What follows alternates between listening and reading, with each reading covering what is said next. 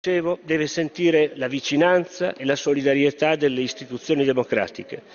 E Israele deve sentire che l'Italia e l'Europa non accetteranno mai che i nuovi equilibri nella regione e la doverosa ricerca della pace tra tutti i popoli che la abitano passino attraverso l'isolamento e l'insicurezza di quanti, sopravvissuti all'olocausto o loro discendenti, hanno ritrovato una loro patria in terra di Israele. Grazie.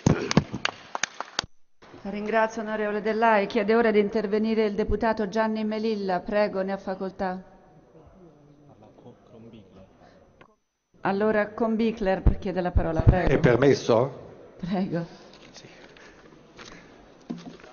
Cara Presidente, cari colleghe, cari colleghi, a rischio di passare per provinciale, io oggi qui, in occasione della giornata, credo e spero, giornata mondiale della memoria, parlerò di un, persona- di un personaggio molto provinciale, però che ha una storia una storia e un messaggio, non stento a pronunciarlo, universali.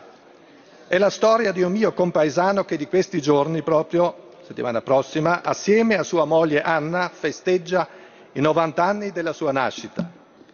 Per esattezza entrano due, insomma, i due nel loro novantesimo anno della, di vita che speriamo che possano poi compiere ancora.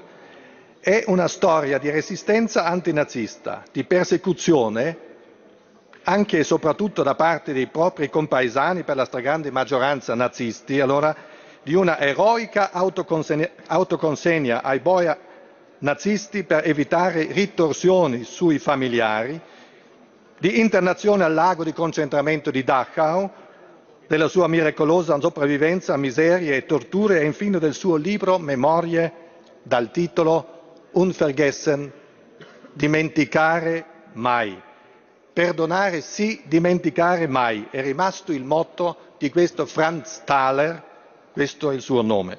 Sono fiero di portare in questa occasione alla memoria del Parlamento italiano la testimonianza di questo Franz Thaler.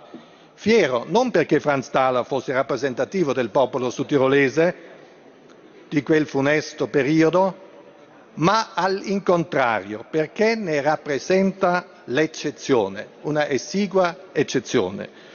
Noi sudtirolesi abbiamo tanto bisogno della lezione di quel piccolo uomo in costume, sempre in costume sarentinese, tanto perché di memoria eravamo molto corti e del dimenticare abbiamo fatto la nostra virtù. Non siamo stati solo vittime, quale volentieri ci esibiamo, ma pure rei attivi, e molto anche. La nostra rielaborazione del passato nazifascista fu per gran parte rimozione. Nella mia terra, provincia di Bolzano, tuttora coltiviamo una rara doppiezza di coscienza storica. Chi era nazista rivendica di essere Stato in quanto antifascista e chi era fascista lo vuole essere stato in nome del, solo in nome dell'italianità, quindi dell'antinazismo. Non rimestare è stato per mezzo secolo la parola d'ordine del nostro grande governatore dei tempi, Silvius Maniago. Difatti, il passato di quel periodo è poco onorevole. È il piccolo grande Franz Thaler, uno di 17 fratelli di una povera famiglia di lavoratori agricoli della Val Sarentino, ne è testimone. Anno 39, 1939. Hitler e Mussolini risolvono la cosiddetta questione su tirolesi con l'accordo delle opzioni. Oltre l'80% della popolazione tedesca ladina optano, è certo un'espressione eufemistica, optano per lasciare la propria Heimat e di espatriare nel Reich tedesco. L'esigua minoranza del poco più del 10% si decide per restare. La famiglia del giovane Thaler è fra questi, osteggiato e perseguitato fin, dalla, fin alla fine della guerra dai propri compaesani. diffamato per Taliano, espulso dalla scuola del paese, lasciato solo anche dal proprio Stato. Pur essendo cittadino italiano, al Franz viene l'ordine di precetto in un reggimento di polizia della Wehrmacht.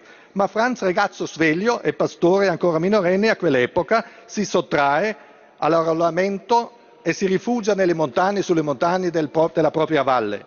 I miliziani nazisti minacciano ritorsioni sulla, sui familiari, il pastorello si consegna, finisce ad Auschwitz, destinazione esecuzione. Poi, liberato il 29 di aprile, tornato a casa, il sopravvissuto Thaler ha dovuto fare l'esperienza di cosa voglia dire ricordare in una società che della smemoratezza ha fatto il suo segreto di successo. Isolato e deriso, evitato dal paese, compensato solo da una bella famiglia con quattro figlie, il ricamatore di piume d'oca ha iniziato a scrivere le sue memorie, il suo dimenticare mai, appunto uscito in una piccola lezione. Ancora due frasi. Ecco, questa fu la sana spina nella pelle grossa, spessa ed insensibile della società neoricca e smemorata su tirolese.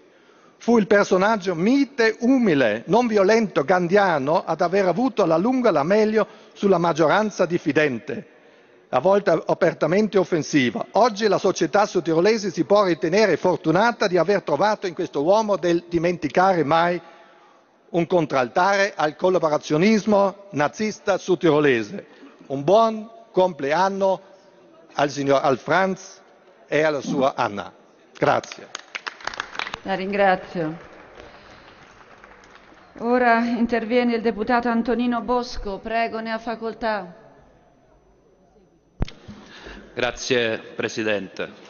Ricordare la tempesta devastante, la Shoah, che tra il 39 e il 45 portò al massacro di oltre 6 milioni di ebrei, non può, non deve, non possiamo permettere che diventi un giorno qualunque, una ricorrenza come le altre. Questo crimine, con tutte le sue premesse e le sue conseguenze, segna in maniera ineludibile il confine tra il bene e il male e quanti hanno a cuore le sorti dell'umanità debbono sempre tenerlo a mente. E dobbiamo insegnarlo, ricordarlo, commentarlo